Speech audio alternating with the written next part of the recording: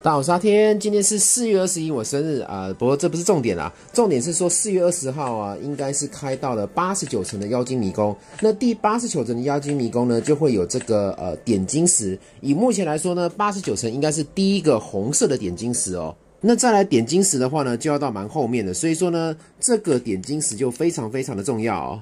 那当然啦，现在这个妖精迷宫啊，或是试炼之柱，能打尽量打，因为里面会有一些这个呃清河龙技。有了清河龙技呢，目前目前 S 三赛季应该差不多可以点到最后一格了。所以说呢，在爬试炼之塔、啊，还有妖精迷宫啊，多拿一些清河龙技，升那么一点点魂核，再加个几趴攻击力，也许就会影响到排名哦。这么珍贵的点金石，我要用在什么地方呢？以目前来说啦，我现在呃两期游中都有课哦。游中要获得点金石的话，哦这一期要到第四十九才有这个点金石哦。所以说呢，真的是还蛮后面的哈、开到四十九，我觉得差不多就是异界探索的时候了。好，那就看大家欠什么东西哦。像我的话呢，诶，这一次的话，我觉得诶运气不是很好，就是呃想要的那一种什么攻击百分比的铠甲啊，或是手啊都没有做到。那但是更欠哈，更欠是什么东西呢？更欠就是重疾率的手套哈。我觉得每个人状况不一样。我的话呢是重疾率的手，竟然我一件都没有，哇，真的是很夸张哦。所以说呢，我这边我要找一个好的重疾率的手套升上去哦。像这一个的话呢，勉强还可以，因为虽然它升到一个防御，但是呢，至少也是重击伤害嘛。那更完美的应该是攻击百分比，然后重击伤害，然后再来一个普通的攻击哦。像这个手套，虽然说也是有重击伤害跟攻击，但是它升上去的时候呢，两次都加到生命值，所以这个手套的话就没有刚刚那个好、那至于说这个的话呢，有攻击百分比，但是呢两次也是升到防御，这个也不好。那如果说有看到一些不错的红装，想要升升看的话呢，那就是呃升个八级，把它属性全开。像这两个、哦、领悟跟豁免没关系啊，我们来看看哈、升个八级就好，花个两万块啊。连个攻击的属性都没有，完完完全不行哦。哎，这一个哈、有一个攻击，如果说洗出来是攻击百分比跟重击伤害，那就完美了。哇，这个这一次哈、这个装备我都洗不到好的耶。这一个重击率试试看哈、如果洗上去呢，它加到了攻击或是重击伤害的话呢，也可以。哦，哎呦，这一个还可以哦，一个是攻击，一个是重击伤害，这两个加的不错哦。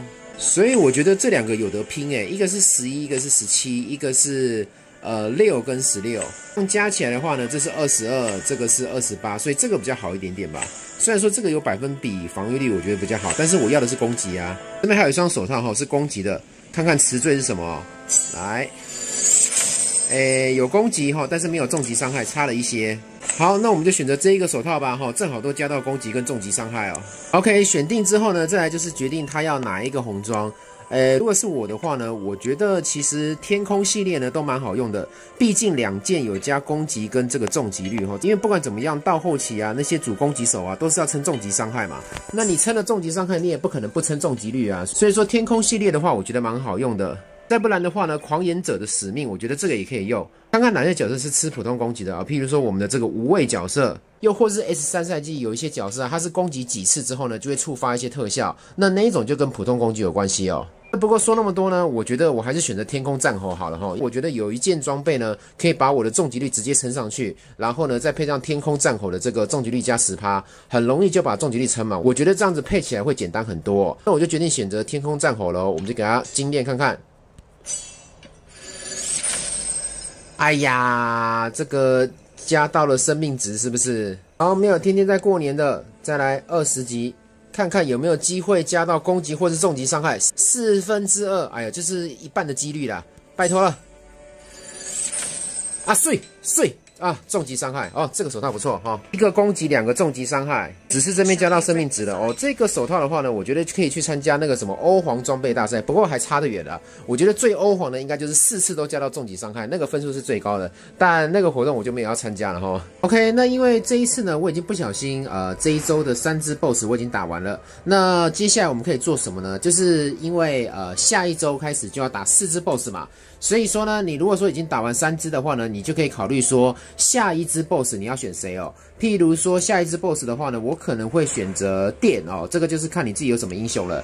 那虽然说呢，你已经不能再打了，不过呢，呃，这个用过的英雄不能再用。如果我假设下一只 BOSS 我要打电的话呢，那我们还是可以在这个地方啊，然后把自己的角色上来练一练哈，看看可不可以打到两千两百万哦。这一周我选的是三个嘛，一个是狂野的火，一个是毒的腐蚀，一个是冰爆。那下一周的话呢，我可能会选择电吧。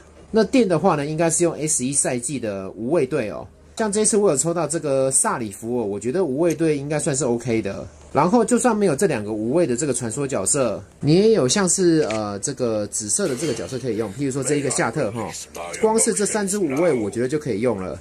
再来补师的话呢，或许可以选择一个梅根哈，当做是一个纯补，然后呢加威能。那另外一个防御型的角色，这一个蜘蛛女哈蛮不错，不过她是传说的角色。又或是像万能的扎洛斯哦，就是可以打威能，然后又可以补血。再不然的话呢，蓝角阿德利让对方放威能的速度变慢。又或是因为他是毒 BOSS，然后呢。